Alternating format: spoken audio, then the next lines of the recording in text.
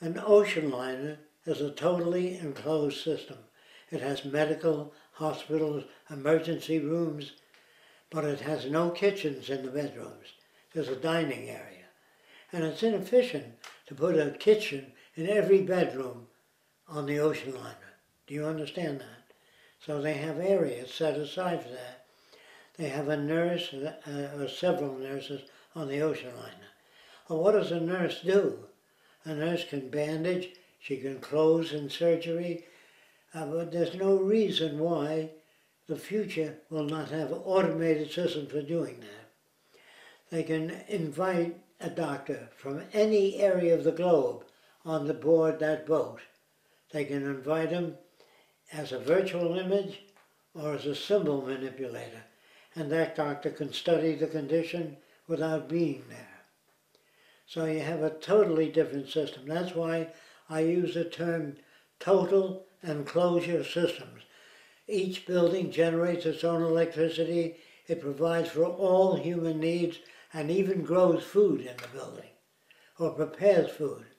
Today you have places where you have fast food, you have 15 cooks and waitresses and all that. In the future, you'll be able to extrude the food very rapidly with no people at all. You don't need people. You don't need waiters, cooks and all. What you need is the food handled the way the food is handled by people, only much faster. Remember, it takes a doctor time to diagnose. He's got to study the symbols and tell what the problem might be. And scanning by machine is very fast. So I can't tell you exactly what hospitals will look like or what the cities will look like, although we know that beds would be very similar, only they'll be more flexible. And not only that, the bed will have monitors built in, so that if, you, if there's any kind of emergency, the bed can stimulate you out of that emergency and call for help without you even knowing it. If you had palpitations or unusual physical condition while you're asleep, a staff would arrive. So when I say total enclosure, I mean methods for dealing with all problems that humans might have. Now, does that mean there won't be a kitchen in every home? There will be during the transition until we realize instead of having 5,000 homes with 5,000 sinks and 5,000 ovens and refrigerators, you have gigantic refrigerators and a food preparation system. Do you understand that? It will not be like it is today. So when people look at these cities that I drew up here, they picture conventional approaches. A bedroom, a kitchen, a dining room, a dining area, because you have people over for lunch. The same value systems we have today. So I would say that this is where the future is going. And the future design would depend on how far into the future and how far technology has gone. When they can read symbols and make diagnosis, when a machine can do drafting, instead of thousands of draftsmen, a machine can do drafting much faster than man, can scan those lines in. If you put in the specifications of what you want, if you want a hospital, to house a thousand people with the most economical structures, which have in, built in heating and cooling systems. All that can be stored in information systems. And the building can probably be forthcoming in minutes and rather hours that it takes draftsmen to do it. And the amount of draftsmen and the amount of space allotted for things will not be the same. If you took an industrial area with movable walls, and if some manufacturing process needed, say, the production of 100 air cars a day, that space can be assembled. The walls can move to accommodate the production methods. If the production methods are faster, two years from now, the walls come together, the factory is smaller, and the production rate is higher. So whatever you have today, ovens, kitchens, all those things will be smaller in the future, produce things much faster and not occupy the same space. So when you say, how much space do you need for hospitals? It depends. If people eat nutritious food, do exercise, you don't have many hospitals. So I can't tell you exactly what the hospital space will be or how technical they will be. I can only say this. The future will occupy much less space for the same turnout. And that's the message. Now, if you try to design a city with a hundred drafting tables in it, or a hundred or thirty machines, that is with today's thinking. And the building will get, the zone that creates that will be smaller and have less people. Now, instead of having generalists, where the doctor is a generalist and he knows everything from neurology to other physical problems, it's much easier to have computers with that information.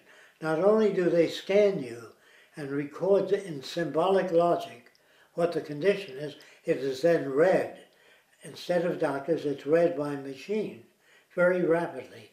And then the appropriate action can be taken by machine if it's surgery or whatever else is required. So to sit down and design a surgical system based on today's values and today's methodology would be inappropriate for the future. So a city of that size will do 10 times the work that a city today of the same size does. That's why I can't give you an exact description of what hospitals will be like, only an overview and general. A ship is a total enclosure system. A passenger liner that has a thousand passengers has hospital equipment, cooking, dining areas, sleeping areas, air conditioned, children's room, and nurses take care of children. It has everything that a thousand passengers may need. Do you understand that? A ship is almost a total enclosure system. It doesn't generate its own energy. It uses machines, diesel engines, to generate electricity to operate the generators. But in the future, the surface of the ship will supply the energy needed. The wave power and, and surrounding areas will supply that ship with the energy it needs rather than require input. Now most of the buildings that I draw that you see there can be put in the cities of the future on the outer perimeter. You need not, you can use the same basic drawings that I have today. But trying to fill in the buildings as to what's in them, I'd rather not divulge that specific information. Now, I can go into specifics, but they would only serve temporarily. The method of delivery of people or moving people depends on the technology of the future. And it depends on how easy it is to move people. But if you have total enclosure systems, it means each system is self-operating, doesn't depend on central power, but they're all connected to the central computer and they're connected to all events in other cities. If the city system mechanisms fail, other mechanisms take over and notify the appropriate people or the appropriate machines to carry out a given task. Now they took all kinds of cardiograms of me today, and then it goes to cardiologists, and the blood test is divided into different systems where people with microscopes analyze the blood.